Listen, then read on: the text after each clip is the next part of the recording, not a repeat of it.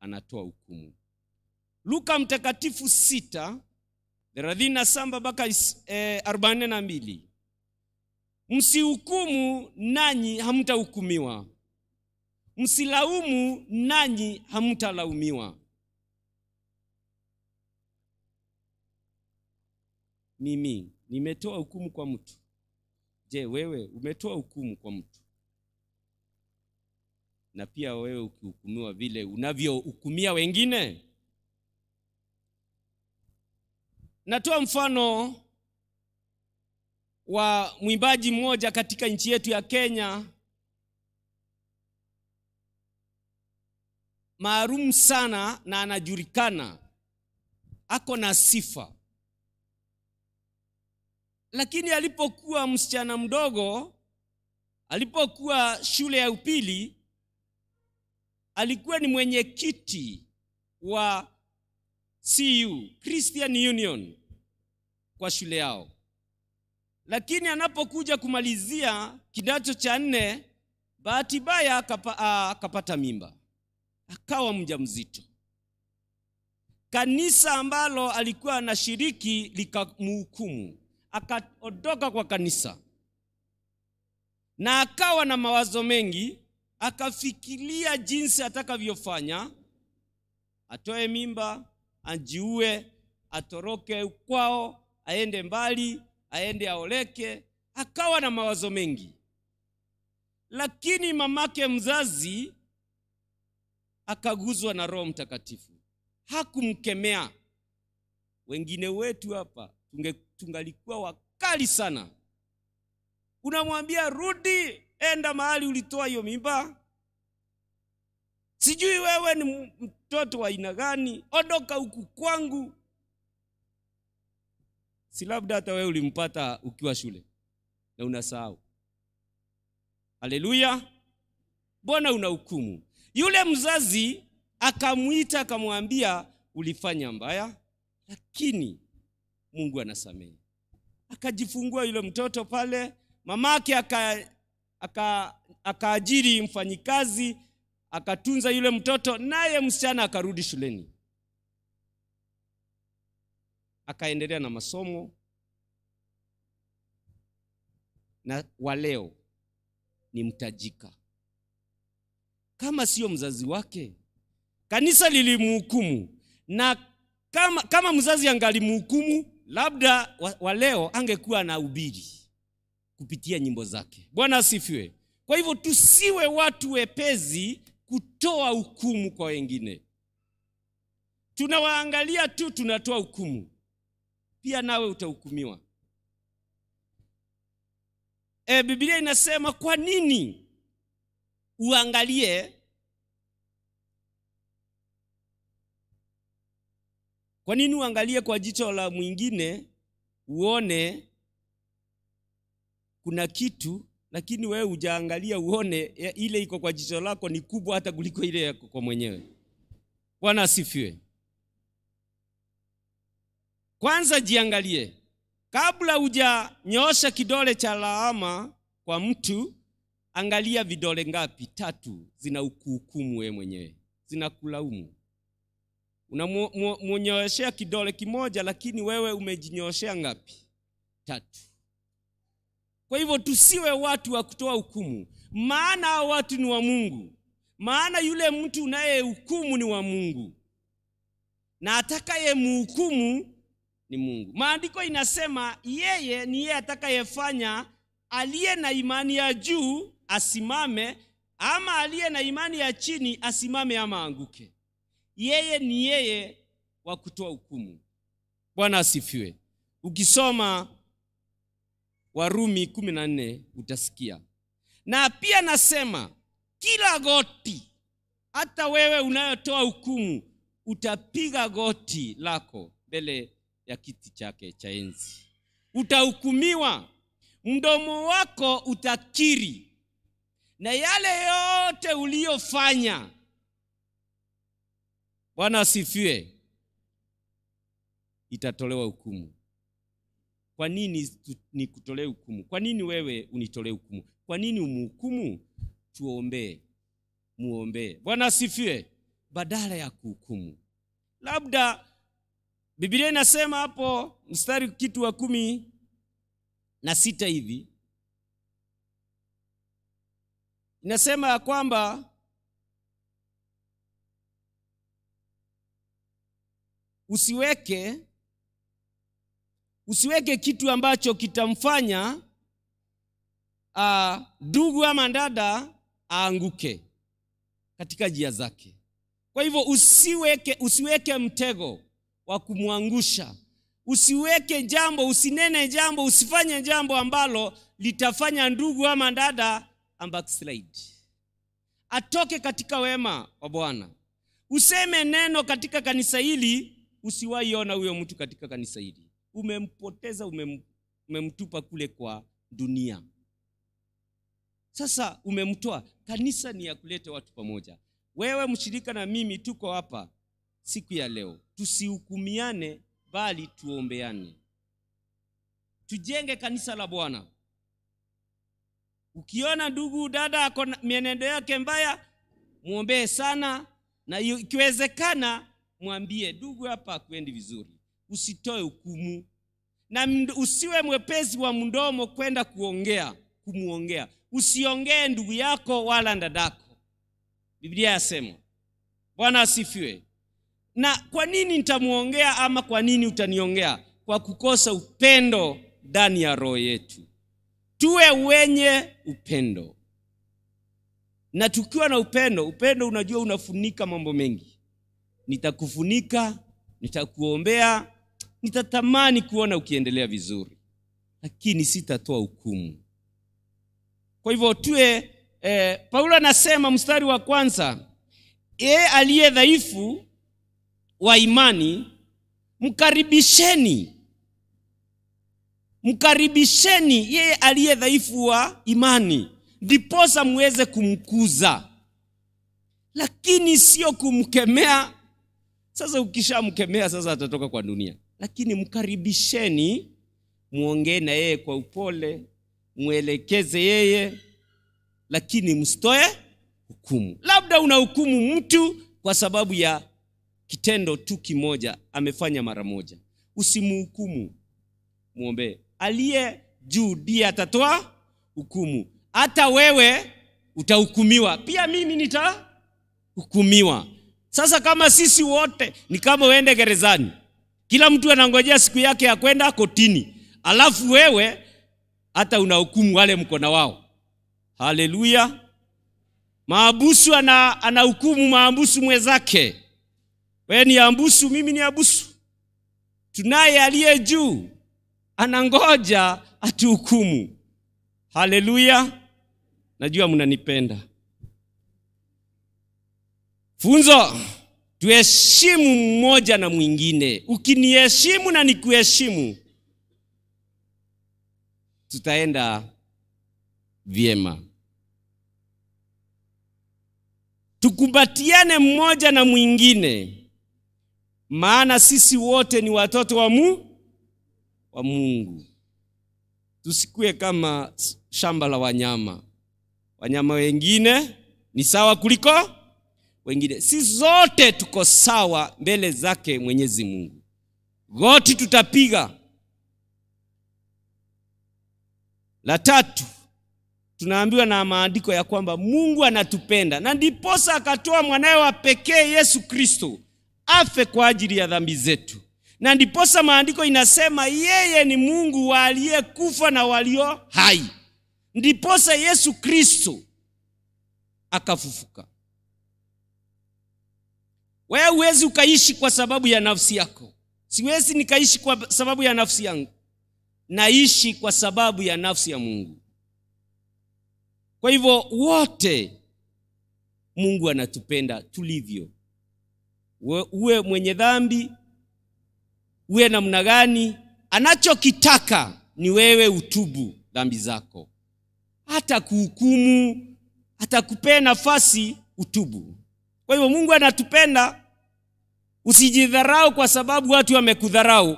Jua kunaye aliyejua na kupe na ambaye anaweza kugeuza. Sisi wote tusawa machoni pa Bwana. Mimi na wewe tuko chini ya neema ya Bwana. Ni neema tu, si ati nini, ni neema. Kamera zikiwekwa hapa utaona wengine. Lingine ni kwamba, funzo lingine, chochote tunachofanya tufanye kumsifu Mungu. Usije ukafanya jambo ndio usifiwe na watu. Usije ukafanya jambo ndio umsifu mtu. Fanya jambo usifu nani? Aliye juu, Bwana. Na usisahau, usimkwaze mwenzako, na ukijua umekwaza mtu, omba msamaha. Kwa hivyo tuishi kwa upendo, tusiwe watu wa kutoa hukumu. Jipige mshasha katika moyo wako, ujue wewe uko upande gani. Unahitaji kutubu ama uko sawa mbele zake Mwenyezi Mungu. Kama umehukumu mtu, ni dhambi. In the name of the Father, the Son, and the Holy Spirit.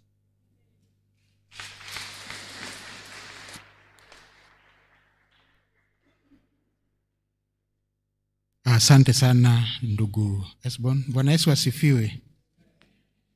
Tunashukuru Mungu kwa neno lake ya kwamba ni kwa neema tu ndio tunaweza ingia mahali pa Mungu. Ni kwa neema tu tunaweza simama, sio kwa nguvu zetu, lakini kupitia kwa damu ya Kristo anayetuokoa na kututakasa.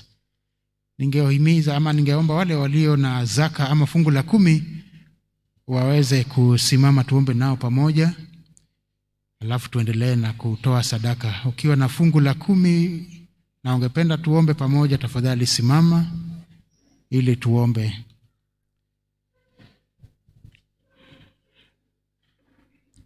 Basi tuombe.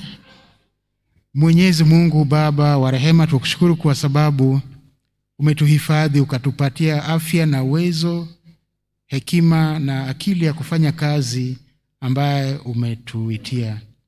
Tunashukuru sana kwa kuwa tunapokuabudu na zaka zetu unatuhimiza na unatukumbusha ya kwamba utafungua dirisha za baraka ili baraka ziweze kumiminikia kila mmoja wetu, tukose hata nafasi ya kuyaweka. Baraka haya yote tuwajua ni kukujua zaidi, kukutumikia vyema na kufurahia wema wako na wokovu wako. Basi wabariki hawa wote ambao kwa neema yako wameleta zaka kwa njia ya ibada. Bariki kazi ya mikono yao, bariki jamii zao, wabariki kwa mienendo yao, kwa fikira zao na kwa matendo yao, waweze kuelekeza yote kwako Bwana, ukawainua na ukawapa yale mahitaji ya mioyo ya kila mmoja wao, kwa kuwa tumeomba kwa Yesu Kristo aliye mwokozi wetu, amen. Asante. Utakapoleta pamoja na sadaka, sisi sote tutasimama tuimbe wimbo wa sadaka tukiongozwa na kwaya wa mwendeo Yesu kwa kusafiwa na kuoshwa kwa damu ya kondoo. Kwaya ituongoze tunapoleta zaka na sadaka zetu hapa mbele, ama tutatumia mtandao kwa paybill ambaye kukuokuta ukuta pale. Wamwendea Yesu.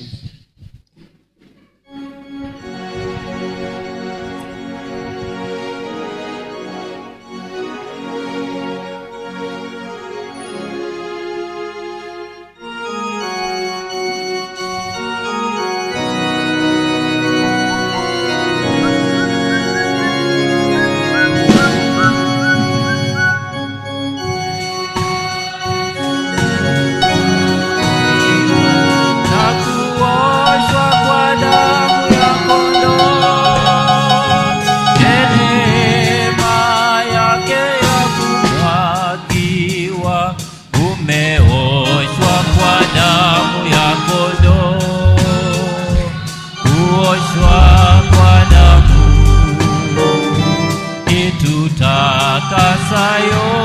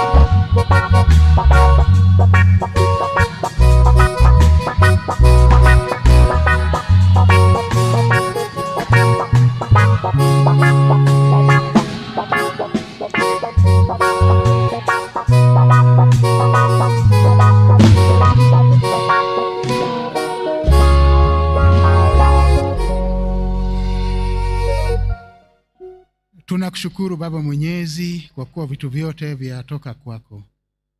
Na vilivyo vyako twakupa iweze kufanya kazi yako, na utubariki sote tunapoendelea kukuabudu na kutoa zaka na sadaka zetu kwa ajili ya utukufu wa jina lako.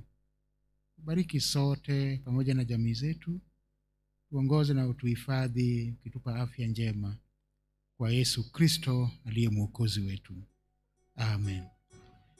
Na sasa amani ya Mungu ipitayo akili zote za binadamu iwalinde mioyo na akili zenu katika kumjua na kumpenda Mungu na mwana wake Yesu Kristo Bwana wetu, na baraka ya Mungu mwenye enzi Baba na Mwana na Roho Mtakatifu iwe kwenu na ikae nanyi sasa na hata milele.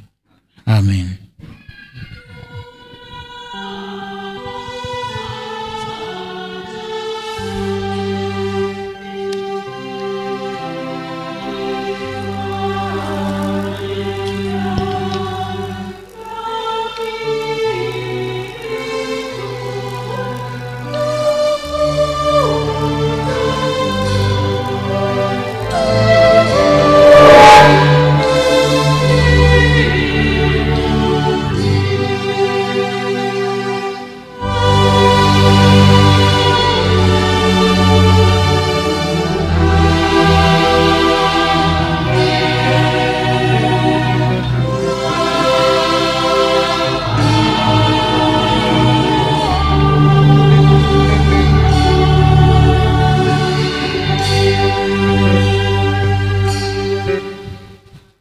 Asanteni sana kwa kupata nafasi kujumuika nasi. Bwana awaongoze, muwe na wiki njema na muwe na amani ya Kristo. Tutaimba wimbo wa kufumkana tukiongozwa na kwaya niongoze Bwana Mungu.